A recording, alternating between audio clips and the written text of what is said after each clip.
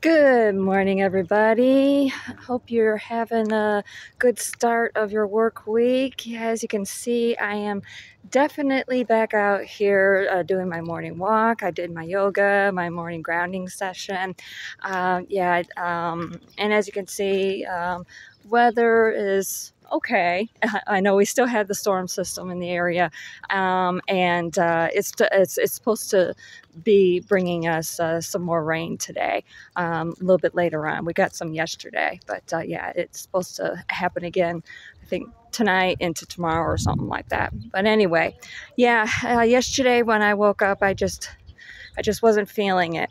Uh, I've been going through quite a bit with. Um, uh, some ascension things, you know, cleansing and so forth over the last week, receiving a lot of messages and everything. And I was trying to figure out, you know, uh, what was going on, what was the meaning behind it all, and, and, and so forth.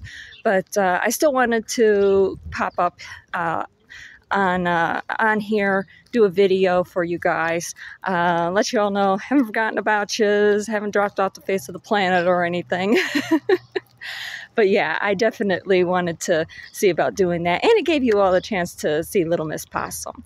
Yeah, she uh, unfortunately she deals with um, quite a bit of anxieties. I'm actually the only person um, in this planet that uh, she actually trusts.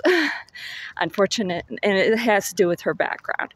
Um, unfortunately, she um, when I found her uh, living on the streets, she was only about six, maybe eight weeks old. And based off of my um, previous experience th- that I had working with rescues and um, um, doing wildlife rehabilitation, I um, sort of suspected that she probably was living in a home and she probably got dumped out. She was probably one to last at a litter or something like that. And she got dumped out and quite possibly even that night. So, yeah, she had a bit of a rough start to life. And if anything, the way she acts the way that she does, like she was in the video, it's not put on. she isn't trying to get my attention or anything like that. She she is normally like that because she's just so loving and so appreciative of everything that I've done for her and everything. And we've been together for four and a half years. This year will make five years. So, yeah, she's just such a sweetheart. I love her to pieces. So, anyway, um, yeah, yesterday was a day for me to just just chill.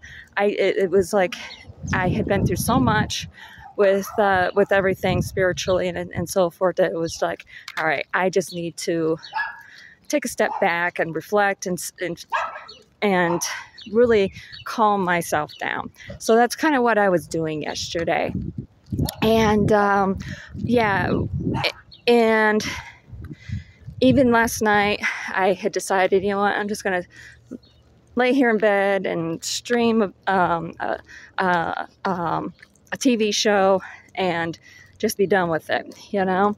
And between the TV show that I was actually watching, I won't say what it is, and everything that I had been going through over the last week, it really, everything kind of came together for me this morning as to the, the reasons why. I hope I have it figured out anyway.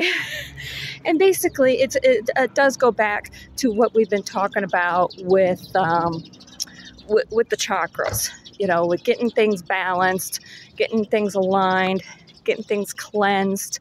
Um, you know, and it, it is a process. It isn't something that happens overnight. Um, it's something that it does, can take years. Because you know like they say rome wasn't built in the day. Well guess what? Neither were our lives. So yeah there's there, we all have um, past experiences. We all have past traumas and so forth.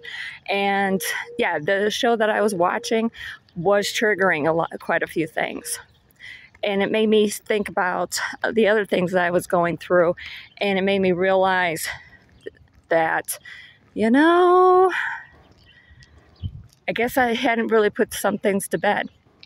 I don't want to say put it to bed, but hadn't really figured out how to maneuver through that, I guess you could say. I know, I'm, I'm trying to figure out how to explain it. On the one hand, I have all, you know, all this positivity in my life now.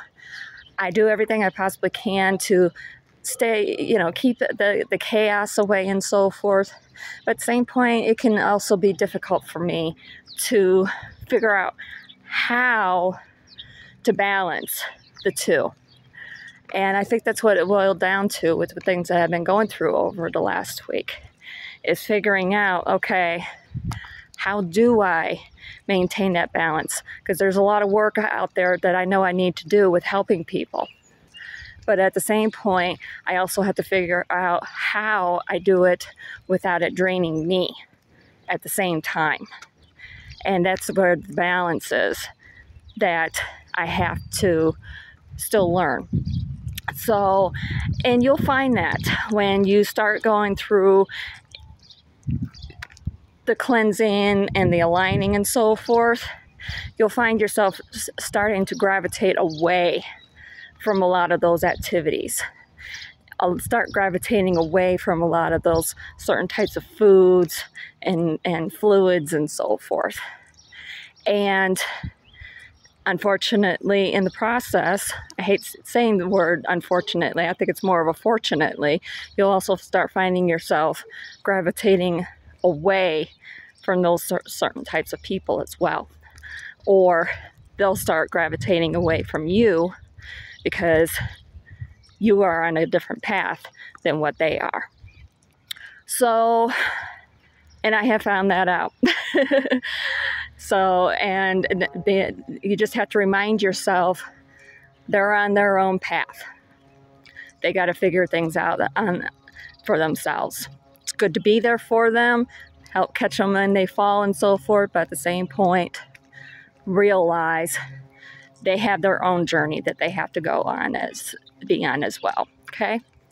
So, anywho, I hope this helps.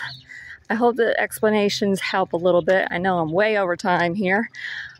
I'll talk to you all tomorrow. I love you. I hope you have a great day and work week. Mwah.